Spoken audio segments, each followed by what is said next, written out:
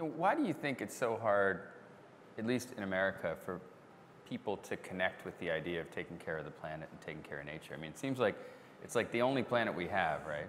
And to most of us, I think we understand that. But definitely in corporate America, there seems to be a disconnect. What's your take on that? And how are you guys connecting? I, I don't, and this is hard because I in no way want to be, you know, anti-corporations because that's that's no way to be in America. Absolutely.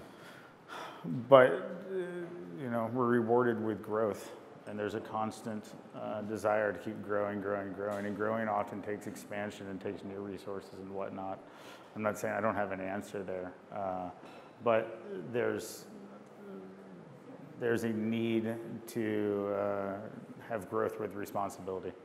And seeing that these places, you know, if we let this land go, it will, there'll be mining, there'll be drilling, it will, we'll lose parts of it, Right. whatnot, and you know, as goes one, goes many.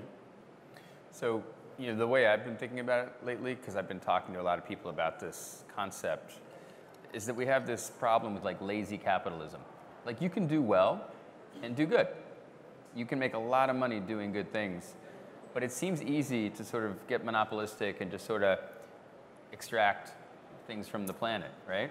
Yvon Chouinard uh, is, is famous for, he's famous for many things, but there's one quote specifically that resonates here. There's no business to be done on a dead planet. Uh, so he, you know, he calls Right. himself a reluctant businessman, but he's, he's been a smart businessman, and it's, Yeah. he has not divorced his ideals from, you know, a productive business life.